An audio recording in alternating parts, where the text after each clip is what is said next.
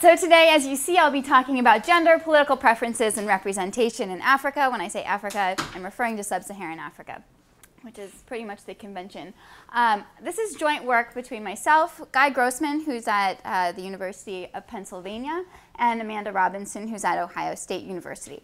And this work was born out of some mutual, I would say, frustration and interest. We are all um, Africanists who have studied different parts of Africa. Guy studies Uganda for the most part, Amanda studies Malawi, and I study Mali. And one thing that we, none of us had studied gender um, as the initial motivation for our research in Africa. And yet we all came around to the same conclusion that whenever we did any sort of research in Africa, gender mattered a lot whether it was the way that gender, uh, men and women behave differently in games, whether it was the way that men and women behave differently with respect to civic participation or political participation, we always saw really different outcomes based on gender. And so we decided, well, maybe we should focus on gender in particular. And one of the questions we had that didn't seem to be adequately addressed by existing literature is do men and women in Africa really have different policy preferences? So we know that men and women do different, do different things economically, they do different things politically. But do they really have different preferences over what candidates they elect? Do they have different preferences over what policies are enacted by their governments? And there's very little evidence in the literature that speaks either way to this question. So we thought, well, there's a lot of good data out there. Let's take a crack at it. So basically what this project is doing is giving you a first cut analysis using data that we already have collected. So this is data that's both cross-country, collected um, by the Afrobarometer for 16 countries in Africa, as well as within-country data that I've collected in Mali, and within-country data that Guy Grossman's collected in Uganda.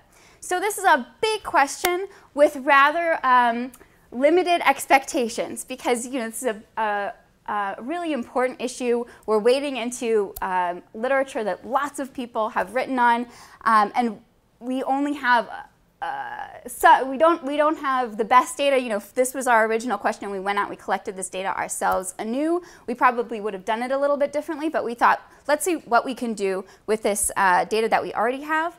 And that's basically going to be my question to you at the end of this. Is is this um, interesting and convincing enough with the data that we have, or should we be going out and collecting some new data? So let's get started. Uh, what do we know about gender inequality in Africa? Well, comparatively to the rest of the regions of the world, so on the x-axis you have different regions. These are the way, this is the way that the UNDP, uh, who collected this data, breaks up the regions. It might look a little funny, but the, the main point of it is that on the far end, sub-Saharan Africa is basically the worst on uh, nearly all of these indicators of gender inequality. So the main one to, to pay attention to is this Gender Inequality Index, which is collected every year, I believe, by the UNDP, and combines lots of different things in it. Um, and you can see that sub-Saharan Africa does worse relative to these other countries. The higher the uh, index, the higher the value on the index, the worse gender inequality. And then the rest of these are some reasons why you might see worse gender inequality. You have a higher maternal mortality ratio, which may say something about the extent to which the health department is paying attention to women. Um, you have high adolescent fertility rate in Africa, and then there's the secondary education um, gender gap, and Africa is not the worst, but it's second worst after South Asia, which means that fewer women uh, are getting secondary education relative to men. So the picture is fairly bleak in relative terms globally. And there are political implications of this gender inequality. So first we see uh, in existing literature a significant gender gap in political participation. Men uh, turn out to vote, participate in political activities uh, far more than women in sub-Saharan Africa.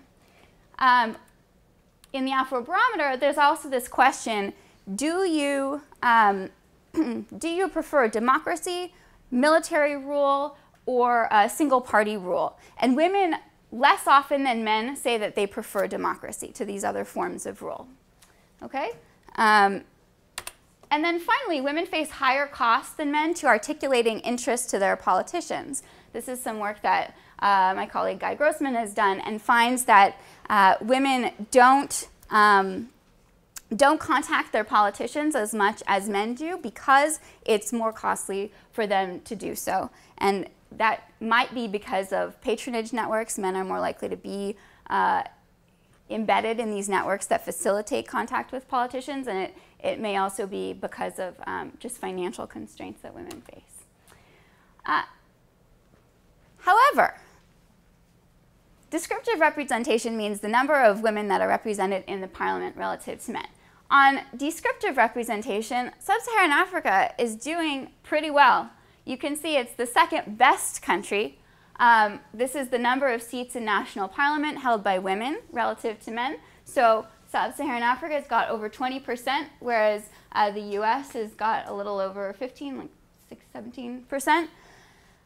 So why is this? This poses a bit of a question. If, if uh, gender equality is so poor in Africa, why is it that we see this um, pretty positive results on the descriptive representation of women in parliament, and why hasn't this fed back into um, creating some improved, some improved equality amongst the genders? And that's, that's one of the motivations for this project is that we've got then to test the assumptions that we're making. First of all, do women actually have different policy preferences relative to men? One reason we might see this paradox is that in actuality, men and women have pretty similar policy preferences, so having more women isn't necessarily going to result in different legislation. That's one possibility that we're going to look at. And second, do female representatives actually uh, better represent women's interests at the end of the day? It might be that um, having more women in parliament uh, is nice to see, but it, it, actually doesn't have any substantive impact on people's lives. That's another question we're going to try to test. So for the rest of the talk, I'll, I'll, get into a little bit of the literature. What do we know, um, especially from the US and, and uh, other Western countries, we have much more theory and evidence from that context than we do from Africa. Um, then I'll present some cross-country findings. I mentioned that we have this Afrobarometer data, so we'll look at those data and see whether or not there is this gender gap. And to look ahead, there's actually a fairly minimal gender gap in policy preferences.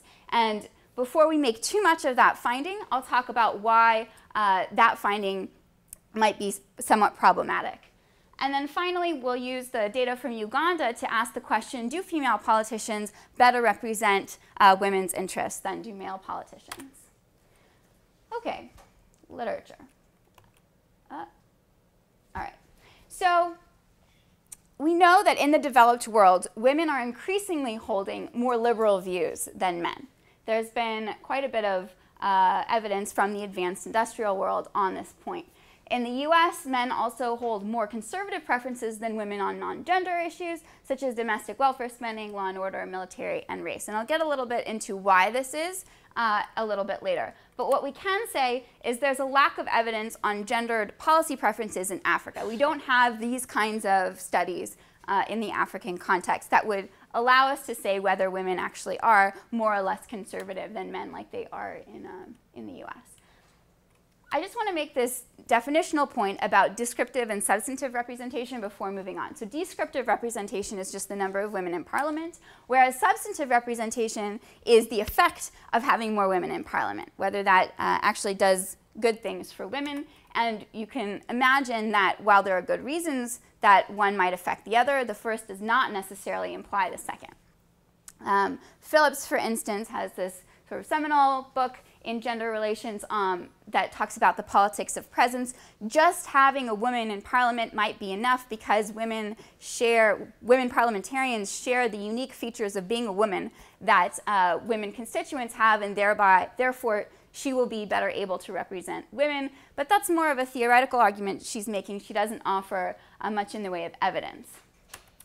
Uh, this um, recent article came out as an annual review. It goes through a lot of the literature that we do have to date and finds that, yes, descriptive representation somewhat improves uh, substantive representation across advanced industrial societies, but the effects are smaller than anticipated when you look at the um, sort of stark theories that were put forth by Phillips and others.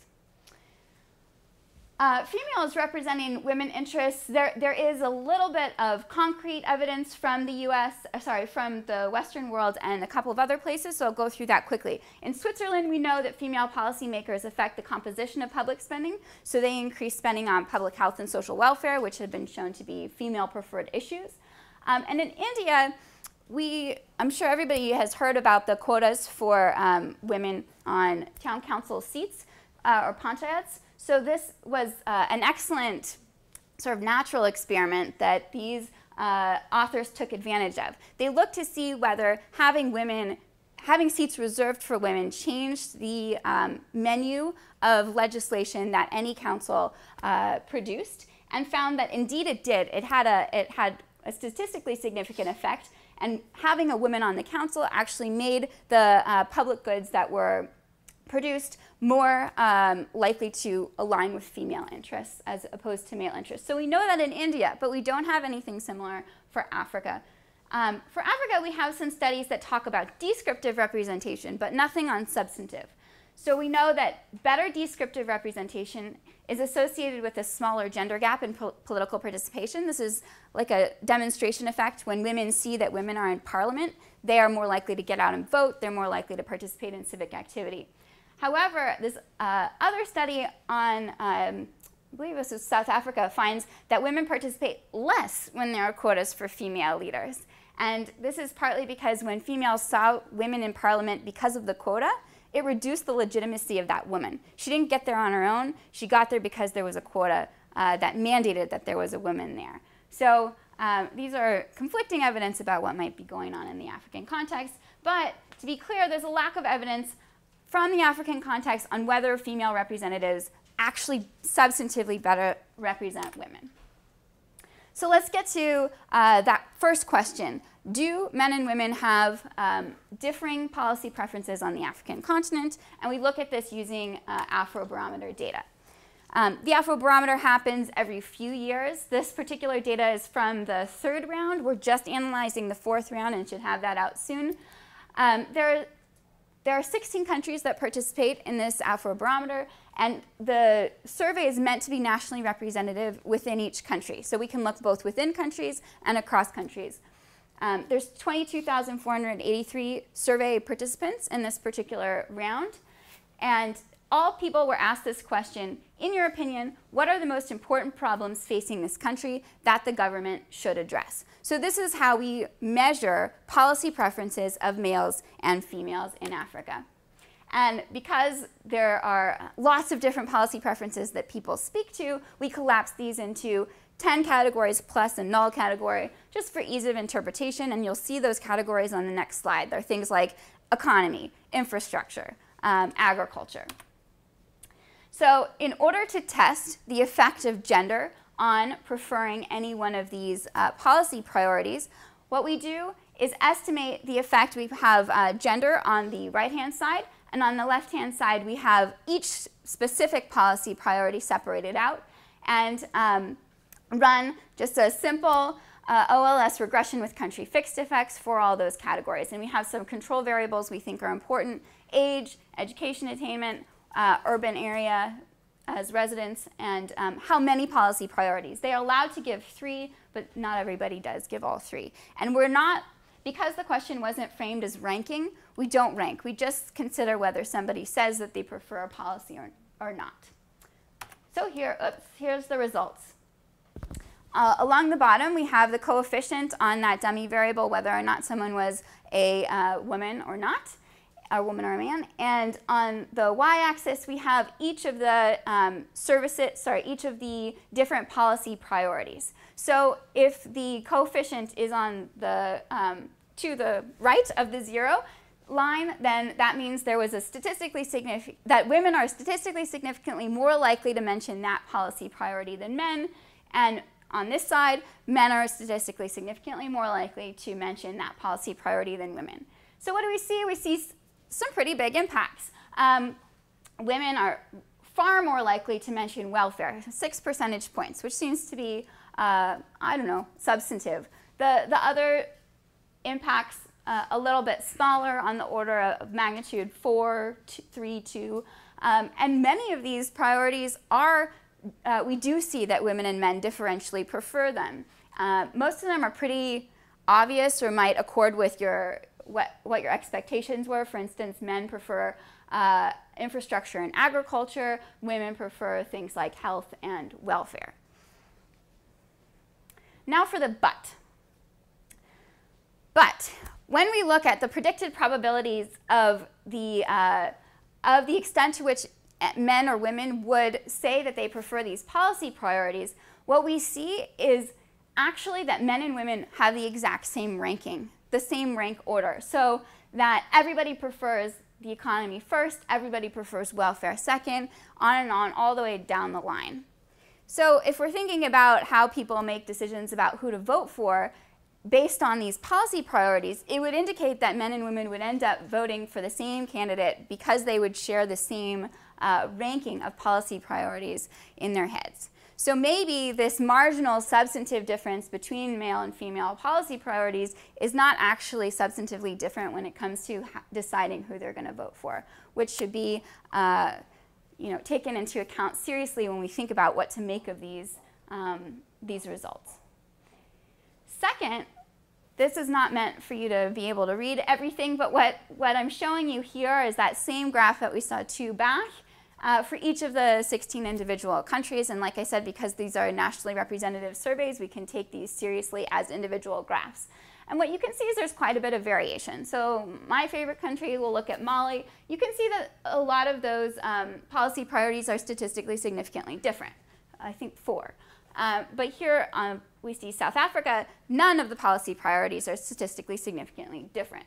So we'll get there in a little bit. I'll talk about how we can use some of this variation to try to understand why context probably matters, that the gender gap might be uh, greater or lesser depending on the, the local context. So to sum up these data from the cross-country findings, there are these statistically significant marginal differences uh, for most policy priorities, but the size of the coefficients are pretty small, but the difference does not induce uh, any differences in ranking, which may mean that people actually end up voting the same way, unconditional on gender. And when you look at the unpooled analysis country by country, we see a lot less statistically significant differences and a lot of variation from country to country. So the next thing I'm going to do is talk about how we might think about these findings. What are the scope conditions?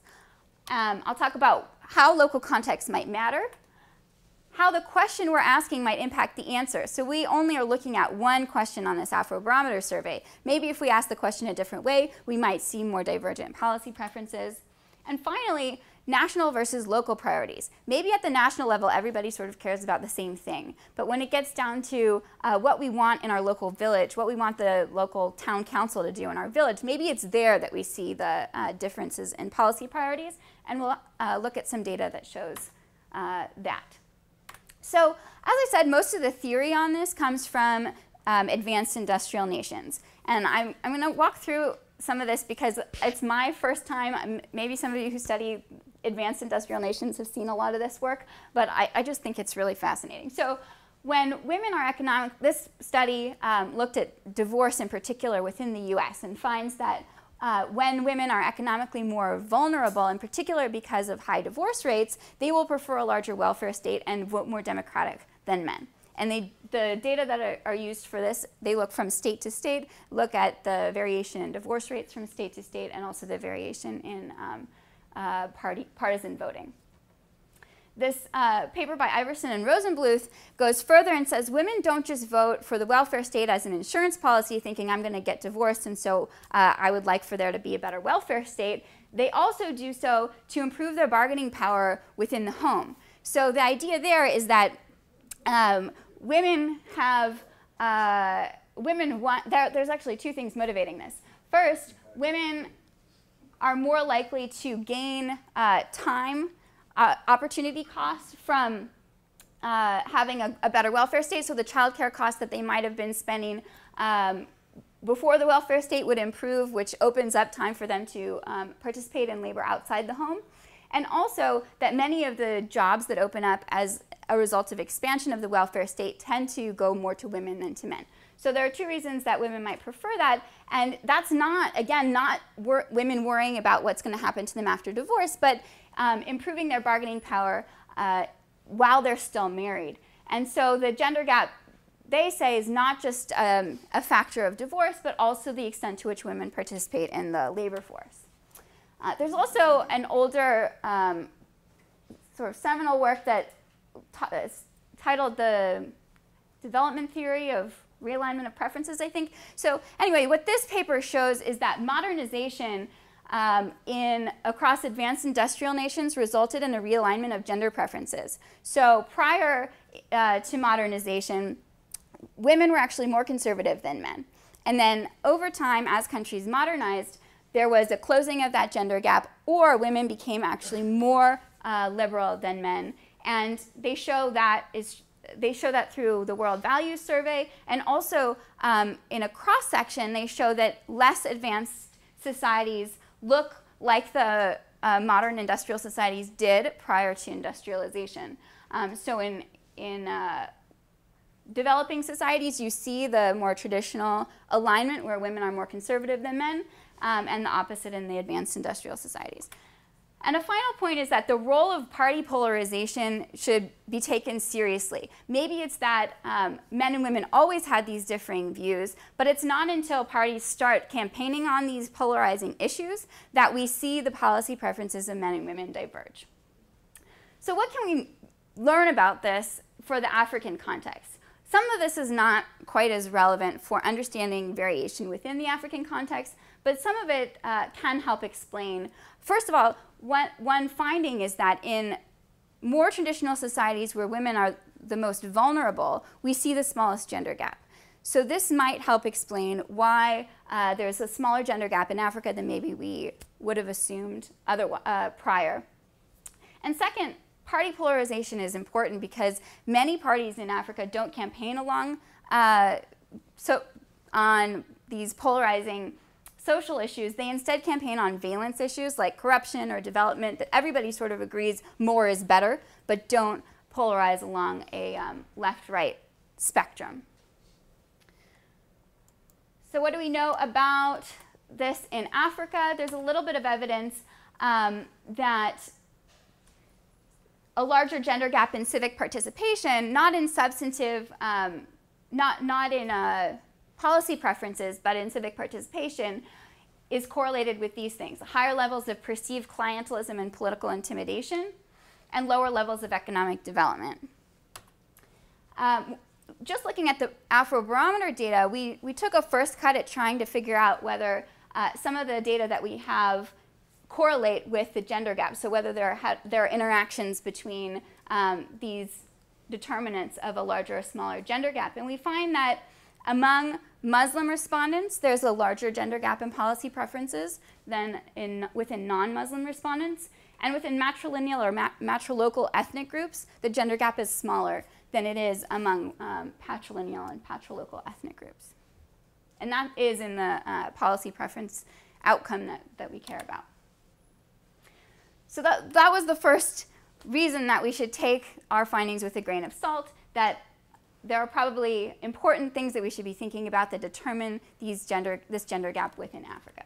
Secondly, uh, how the question you ask affects the answer that you get. As I mentioned, we ask this question, in, we ask only one question in a very specific way, and it could be that it's masking really important gender differences underlying it. So maybe it's the, the, fact, the, the truth that everybody cares about economy and welfare, but that men and women have really different ideas about how legislation on these two issues would be made. And our, our data are not able to get at that question.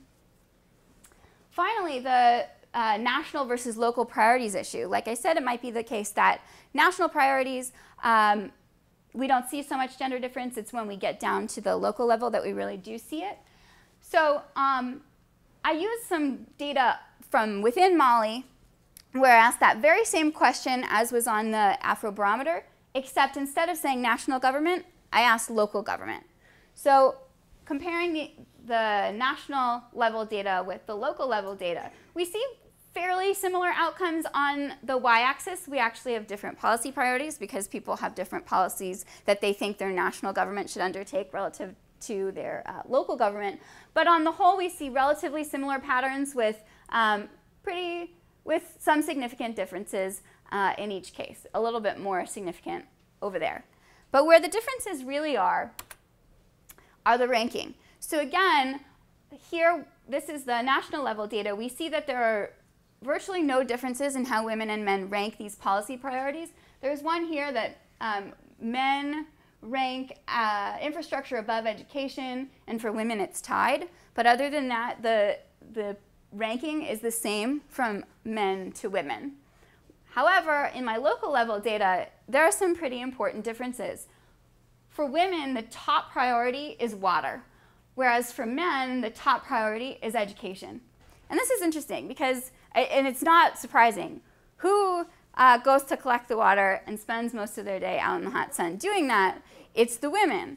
And so having a, a well that uh, provides clean water closer to your home is something that women are going to really care about, uh, maybe something men care about less. Uh, second, there's, there's some differences here, but the two that I wanted to point out are garden and mill. Sorry, this is not legible. Um, so these are two uh, policy priorities that didn't come up at all on the national level. Nobody mentioned them. But in Mali, they're very important things that the local governments can fund. Uh, gardens are these plots of land that usually are within the perimeter of the village itself, where, whereas the large plots of the large agricultural plots that the family farms are outside the, vil the village perimeter. And the men control all the, product, the, all the profits from what's produced on their agricultural, large-scale farming uh, plots of land, even though women contribute a lot to farming that land. However, the garden, the women control the profits from uh, the garden. The, initially, they were just for women to produce um, small-scale vegetables that they use for cooking in their own home. Um, but as these gardens grew, as women got access to credit, they were able to, farm, to garden on larger plots of land, take the surplus to market, and then use that surplus to um, pay for expenses that they're responsible for in their home. Generally, education, fees, uh, generally clothes for their kids, other food products. So this is something that women really want, you can see here, but men not so much. Same thing for the mill. The grain mills are something in these agricultural areas where I was surveying uh, that free up more time for women because women do a lot of work post-processing the um, grain or cotton mill sorry, grain or cotton, whereas having a mill mechanizes this process and allows women uh, more time to look for outside uh, jobs or other productive activities. So again, something that is not surprising, but we see that these kinds of things show up only in the local priorities uh, as a, and not in the national priorities. Um, so the last part of the, the talk, I, I want to give you a little bit of um, data that we have on the, this question, do female representatives better represent women's interests in the African context. And we're able to do this using some within-country data from uh, Uganda that my colleague Guy Grossman collected as part of a separate project. And this data is nice because we have data on both constituent policy priorities as well as uh, MPs' perceptions of constituent priorities. And they match. The same uh, constituents in the constituencies that these MPs are supposed to be representing. So this doesn't allow us to get all the way to the question of whether they're actually legislating differently, but we think that it's mechanistically important that for women to legislate differently, they should perceive, um, they should have better perception of women's interests than, say, men. So it's an important um, first order condition, let's say, in understanding whether women legislate uh, better on women's interests. So that's basically that point. And Uganda, so uh, stepping back for a second, this would be a really hard question to answer um, in general because if you have a country where, let's say, 10% of MPs are women, there's probably something very particular about those constituencies where women are elected. And so it would be hard to compare the women uh, MPs in that constituency to the men MPs in other constituencies and really say some, that, some, that it's due to the women themselves and not due to some other factor about the constituency. But Uganda allows us to get around this because of the way that MPs are elected. You have the lowest level of MP uh, aggregation at the constituency level. There are 238 constituencies that have majoritarian races where candidates of either sex can run. But in fact, you only, you only have 3% of those uh, as women, and we drop those from our analysis. Then you have district level majoritarian races. District level is one up from constituency, and there are two to three constituencies in every district. Um, and here only women can run. These seats are reserved for women. So here now we can compare uh, how the women do and how the men do without too much of this other endogeneity problem. And what do the data look like? We have 155 male constituency MPs who were surveyed out of 238 and we are able to match those on to 4,803 citizens who were surveyed within those constituencies of the males that we survey. Um, 81 female district MPs out of 112. They're matched to a little, a few more citizens because the districts are a bit broader in scope than the constituencies are. Um, and how do we do this analysis? It's a bit complicated because you've got a lot going on. So you have, let's say you have um, constituency MP X, and he's allowed to say three priorities that he thinks that his constituents prefer. So he's got three priorities, and then you've got one member of his constituency is also going to say three priorities. Let's say they match on two. So we give that constituency, constituent, sorry, MP constituent pair a score of two. And we're going to average over all of the scores for that particular constituent, and let's say at the end of the day, he's got 1.5. So that, that is the dependent variable that we care about, is the average match for this constituent, for this MP to all of his constituents. And what our uh, presumption is, is that being a woman or a man should have some sort of impact on how well they match. So a, a higher match means that the MP has a better perception of how um, their constituents uh, are going to vote. So what do we find? we find that male MPs are significantly more likely to correctly identify the priorities of their constituents. So what we can say from this is, uh, and constituents regardless of gender, we can say from this is that male MPs uh, are better representatives, sort of, right? Uh, in, in this, um, using this data. However, the survey also asked a question that said, okay, now just think about this was the first question. The second question was, now just think about your female constituents. What do you think their top policy priorities are? And when we run that analysis on that new dependent variable, female MPs are actually better able to identify the policy priorities of um, their constituents. So this paints a really strange picture. I'm not really sure what to make of this, in that male MPs seem to represent their constituents on average better than female MPs. I think I said that right. But women MPs are better able to perceive what their women constituents want, but it's not really coming out in their idea of what the average constituent is. So what, what is it that women are legislating on? Are they legislating on what they think their average constituent wants, or are they legislating on what they think their female constituents want? And that's something that, again, our data are not able to get at. But we thought that it's important to show this as a, a first step to answering that question. So to conclude, we saw that in the literature there's really scant evidence on whether men or women have different um, policy priorities within the African context, even though there's some good data from uh, advanced industrial societies, as well as whether there's better substantive representation on women's interests within Africa. Our cross-country survey results demonstrate that there's this um, significant, statistically significant uh, gender gap in policy priorities within Africa, but that it's rather small and doesn't change uh, ranking in a, in a substantive way.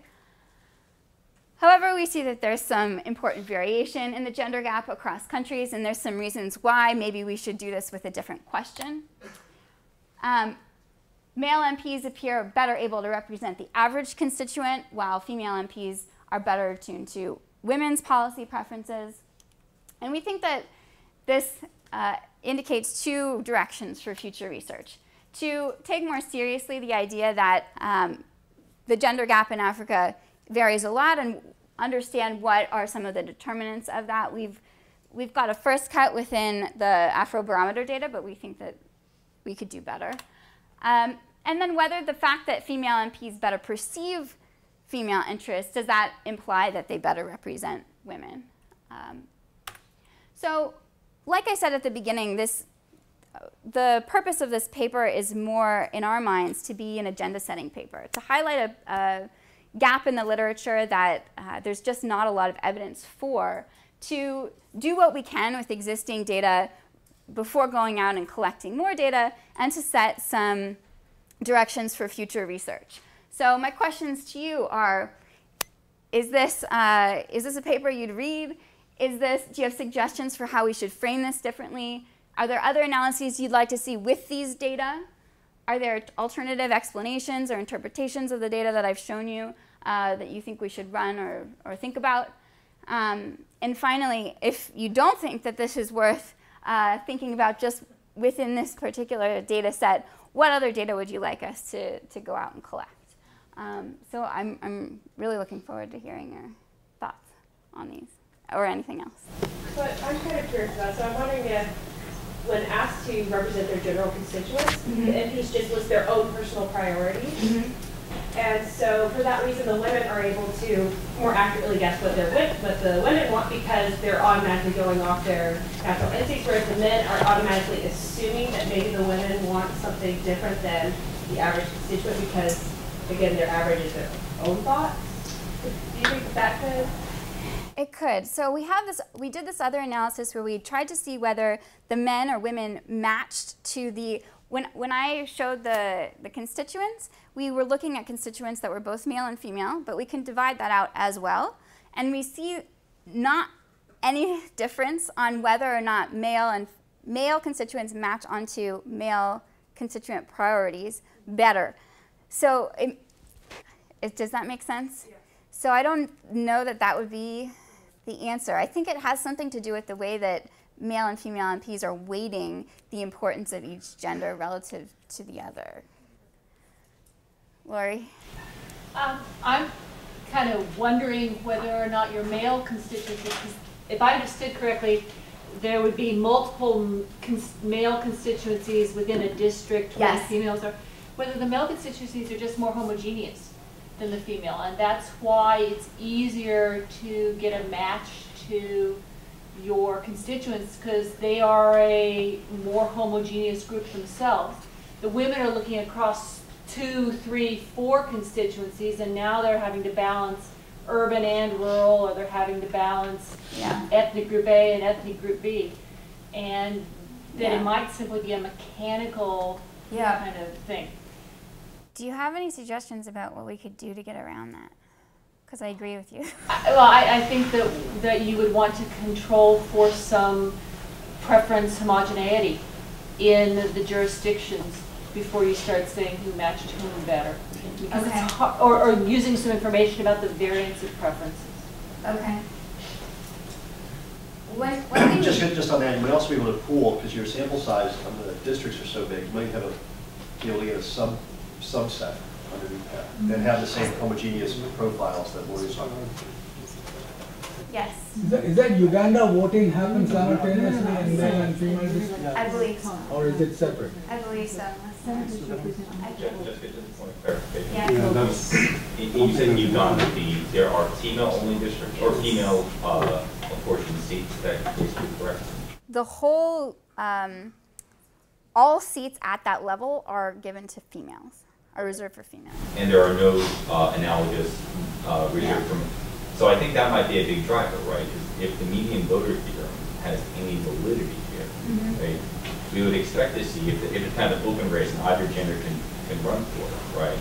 The people who are going to compete for those seats will have to, to pay very careful attention to uh, the policy preferences of the entire district, right? So you have to encounter both male and female uh, voting preferences that if you have a female-only competitor, there can be a logic that's used that says, um, I don't have to pay as much attention to male candidates, I have to focus more on female issues. Therefore, the probability of getting it wrong on the male side, therefore the probability of getting it wrong overall is going to be higher. Right? The logic of competition could be, could be different except from the logic of size. To, to, to, to add to that, it's, it's as if it's as if they are separate votings and, right. the, and the women turn out to vote for the women candidate. I mean, they may, they may be voting on the common ballot, but they don't care about the men candidates. They're, they're voting the preferences on the women candidates, and that's what you see in the second question. because that's what's happening. So you think it would be too costly to just answer a second question on the same ballot? They like refuse to. If you didn't have the second question, the women may not even turn up for the voting. If you didn't have the women-only structure Uh-huh. on the voting, the women voters won't turn up. Is, is what the reverse of your finding is. That if they care only about gender issues, then I don't care about, uh, you know, guys, guys being in my, pol- uh, representing me, I'm not gonna vote. Do you have any data on whether or not the votes were cast? Whether the same person who voted voted Voted in both elections. Voted on both, both uh, elements on the same ballot? I doubt it, but Or I can just ask. whether or not, um, just how many votes were cast for each person on the a ballot? I'm sure we could get that. Because if it was significantly different, Uh huh. uh, of course, if it wasn't different, you could say, it could be because all the men voted for one candidate and all the women voted for a different one. But if it is different, you could use that as uh, being consistent with Keyshore's theory, right? Yep. And that happens all the time in elections. People go and they vote for president and state, uh, you know, U.S. Congress and U.S. Senate, and then they don't vote for the referenda. They don't vote for their city council. They don't know. It's not because it's costly. It's because they don't know the cost of voting for someone they don't know. They don't have the information, so they leave those blank. Okay. I think this this idea that we're getting a different that the selection mechanism is producing different types in each of these constituencies is an important idea we we hadn't thought about, and it, it has some interesting policy implications for how the the winners are incentivized to be accountable to whom. And you can, you can draw from some of the literature in, uh, I know a lot of the Middle East scholars have been doing a lot of work in this because of gender representation in the, uh, Wilkham Najlis, whatever the heck it is, there might be some comparative work to be done there. Okay. Sarah Bush would be a person to Okay. ask that, that role.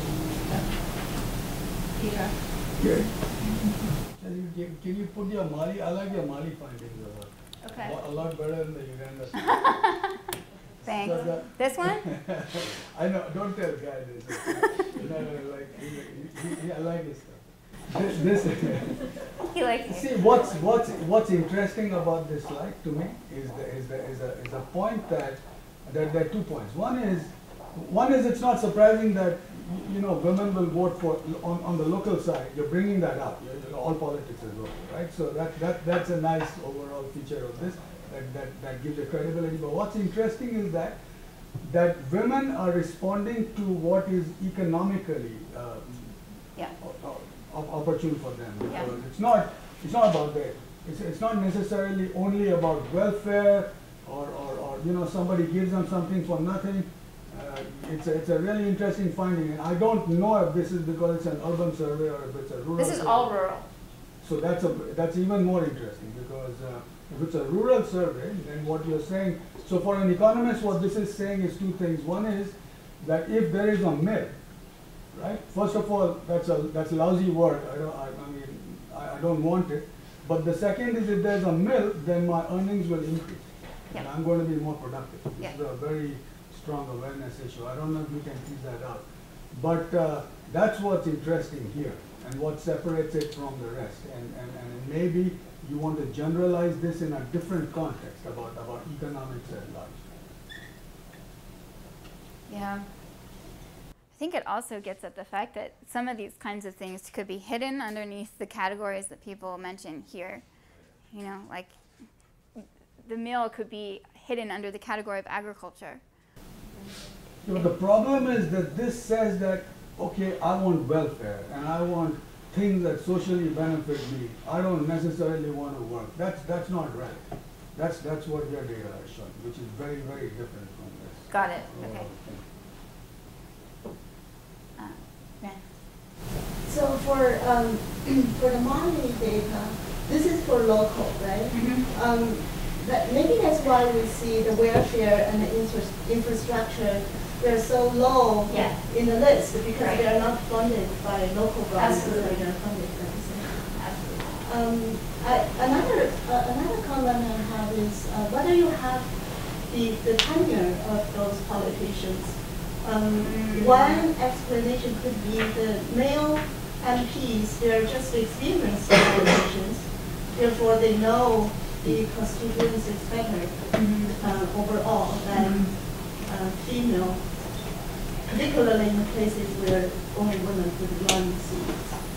We, ha- we control for age and we control for whether or not they've ever been a minister. But I don't think we have years in office. So if we don't, we should, if we have that. How, do you know how those districts are selected? Where only women can run? No. I, I mean, the it's a it's um it covers the entire country. So there every person lives within a district that's represented by a woman. It's a higher level of aggregate territorial aggregation. So there's 200 and some constituencies embedded nested within 100 and some districts. So all districts belong to women MPs. Jabbo. Just I think, if I'm not mistaken, you actually have two papers here, which is good thing.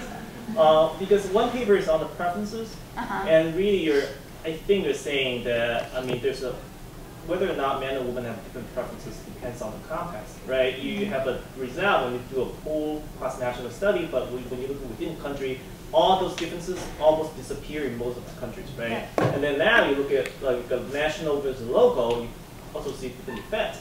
So context matter, right? Mm-hmm. So I'm not sure if there's one thing can drive, say, just one issues or one conditions that women and men could have a different preferences, right? And then I thought the more interesting part is the representation part, but you didn't make the link that how preferences link to Yeah. rep- representation, right? And then for the representation, like the all previous suggestions, that maybe more interesting is to link how they vote, and then whether or not women legislators um, behave differently in policy making. So I almost feel like if you don't make the link between preferences to representations, actually those are, I mean, they both could be interesting papers, right? Um, but as, re- Right as now of- it's right two now, it's like totally two different important questions, but actually it's a good thing that you can produce two papers instead of one. But for the first one, the takeaway is, is all about context, right? We, we cannot find a single issue or single dimensions that a woman is going to behave differently. But, but, but is it really all that different, or is it just, they're voting their economic interests? And because of the cultural division of labor, the economic interests of women are different from the economic interests of men. I mean, is that really a different policy priority? Or is it just the context says an interest in water and an interest in mills is a women's issue in that country? But that's an empirical question, right? You have to make the link, Right. the preferences to the, uh, how they vote. Right. But it, it's just an expression in some sense of the cultural spheres of influence, right? that engender these different preferences. But I don't know that we can make the link directly with the data we have, um, given that, that what that would require, I think, is to know which, in the most recent elections, which candidates were representing which issues, and then how people voted. And I don't think that we have. Because that reminds me of the Wang paper on Yeah. world politics and trying to see whether or not people prefer clientelism versus uh, broad-based public goods. And I think he found women uh, prefer more broad-based public goods than the clientelistic goods. So maybe there's something involved there to look at how they coded. Well, I mean, yes. It's a pretty weak finding. Yeah, I know, but. It's a great paper. It's a weak finding. The, the gender finding is weak. So I didn't want to make too much of it. Um, and But look at their empirical strategy, that's what I'm trying to say, that how they link the issues. the empirical strategy was randomly assigning campaign messages across parties, which we're not going to do. um, but yeah, uh, we'll have to think about whether within this paper we can make that link better. I agree with you that it's pretty disjoint at this point. Another really interesting I, issue with representation and gender is I, I ran this data in Mali and I didn't present it that I have the preferences of chiefs because we gave the same survey to all the chiefs in these villages and I looked at whether chief preferences map onto women's or men's preferences better. And guess what? Male and chief preferences are more aligned than female and chief preferences. Um, and I think that says something about representation as well. To the extent that chiefs are involved in patronage or clientelism, and um, it would be better for men than for women in terms of how their interests got represented. But again, that's just a sort of a, it's only getting us part of the way there. We don't actually have the data to show it. I had a Jabos reaction up to the point where you said that preferences was the less interesting part of the paper. I actually think it's by far the the most interesting. Okay. Right? And I think you're actually biting off a meatier issue than you're giving yourself credit for. Because the way in which you got about framing the project, this goes to the framing issue that you asked about, is to, is to say, well, there's this literature at, at the national level in various developed countries that says gender matters, right? And your answer boils down to, well, gender matters in Africa at the local level, not the national level. But I think that's a, that's a huge, and then when you showed your cross-national comparison, you actually saw variation in that as well, which matches kind of the developed world with the variation findings across the states. So Yeah. one thing that I think you could make a big, uh, would be a huge, huge, huge uh, influence on the literature at large, be to A, discuss the conditions under which, as you said, gender does or does not matter in the African context, and see if it can track in the developed world. But then B, I think you need to get inside uh, the developed world literature, maybe the American politics literature, I don't know, and see if there's a literature on localized gender preferences and Mm. voting behavior, right? So that's really the apt comparison here, not national stuff, to see whether Mali, you know, and, and the other countries you're presumably going to study match uh, local level behavior. That's a huge value add to the field. And let me just add one other wrinkle to that. I think you do, as you hinted at, need to get at the questions of not just what are the issues, but what are approaches to solving the issues, right? Because I think that's actually a huge driver. My, my instinct is that that's a huge driver of gender preferences in the world, right? If you, if, I, I, I suspect, as you pointed out, that women vote more liberal in the U.S., for example. Well, liberal is both the value of what the issues are, but also how to approach solutions to the issues, right? Which is a way of saying you have to look at what policy approaches are being bandied about in solutions to the issues. So I think you need to break open the box of what the, not just what the priorities are, but what the preferences for addressing these priorities. Okay. Is, you know, it, no, it's real tough, right? But if you, if the literature says liberal versus conservative, that's just like a statement of priority, an approach. Okay. But I think that's a, it's a huge. I think the first part is easier to do than the second part. like a lot of politics, the first step. Um, yes. So uh, I want to go back to Joe's uh, question about the link between preferences and representation. Yeah. And I'm thinking of my, my country, uh, Lebanon, where it's definitely women have certain different preferences than men, but when it comes to elections or representations, there are different factors that influence uh, the, their choices uh, to an extent that they become the same. So it's the link between preferences and representation is quite important, and definitely the context is very important, and it's going to make a big effect. Can you get into a couple of those things that make them vote differently? Uh, the you mean the factors, the context itself? Yeah. What? Why? the is it influence of the political leaders, the religious backgrounds of both of them, uh, the uh, the economic status of the woman or the family itself. So there are the, the level of education. So Mhm. these are different factors that will definitely make a uh, a big difference. the other thing um, with this graph, you're talking here about uh, rural areas, right? Yeah. So what is the concentration of the population in rural versus urban? And what is the concentration of women in urban versus rural? Mm. Uh, and the last question is, you talked about 16 countries, right? Yes. Um, do they have a, do all the 16 countries have quota systems? No. Not all of them. No. Okay. Uh, does that have an, any effect on what we're talking about here? And when we're talking about the quota system, you know that we have either the quota for uh, running for elections as well as quota for the seats. So does this difference between the two systems make uh, uh, have an effect on this? That's a good point. We haven't done any examinations of how preferences are different in quota countries versus non-quota countries, but that's something we could do. So, And there are two different quota systems. in each- Yes. in and at different levels. Yes. Yes. Were these preferences um, uh, um, collected at the same time or around the same relative time? Yes. Yeah, uh, uh, uh, so my, I was wondering um, to what degree are these preferences, um, are, are are they stable over time? Yeah. So, so is this, is this something that they, uh, the, the men get better uh, around election time, but when the election goes away, they, they forget, you know, what, or, or they don't really care about what others think? Or, and, and, um, and, and um, even uh, related to that, I- I think a larger question of whether or not this really matters for what, what they do, um, for, for the policies that they enact is, Right. a, is a big question, which I know, I, I do understand that, that you're unable to get to that, at that point, but, but I, I- think that question is- is, really the big question, whether or not gender matters or, Yeah. or not. Yep. Um, on your first question, the Uganda data is only taken at one time, so we only know about the MPs at that one time. And I, I don't think it was very close to an election. Um, the Afrobarometer data, however, we can do over many rounds, and we've looked at the more recent round. The data was just done yesterday, so I didn't put it in these slides, but it's very qualitatively similar.